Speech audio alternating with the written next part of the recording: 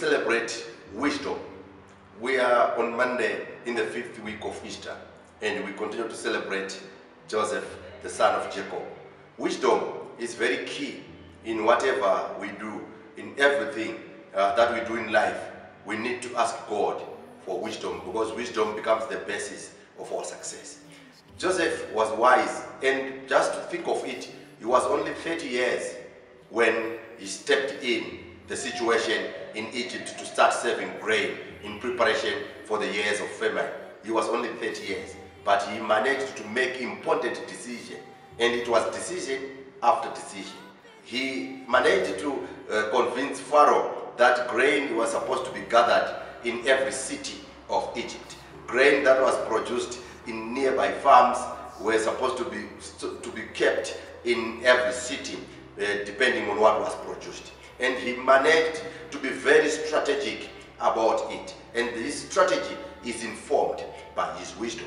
And that happened, and he managed to keep as much grain to sustain the whole land of Egypt and neighboring countries in the seven years of famine. We hear about these brothers going to fetch grain in Egypt. And it is, this is the only mentioned uh, group of people. But there are many groups of people from other countries to fetch grain in the land of Egypt. It was all because of the wisdom.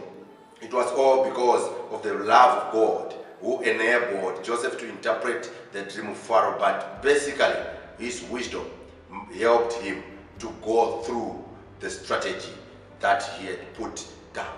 And even as he wanted to bring his brother Benjamin, he was in the process of exposing himself to his brothers. He dealt with it in a very wise fashion. And this is very important for us as we deal with situations, as we deal with responsibilities that are given to us in life. We must be able to be wise in every decision that we make. We must be able to see beyond what we can see with our eyes. And that is wisdom. Wisdom is not about the age. Wisdom is not about the resources that we have, but it is about the grace of God. Joseph was only 30, but his wisdom was so amazing. So I bless you all, and I continue to implore you to ask from God to have this wisdom, the wisdom of Joseph.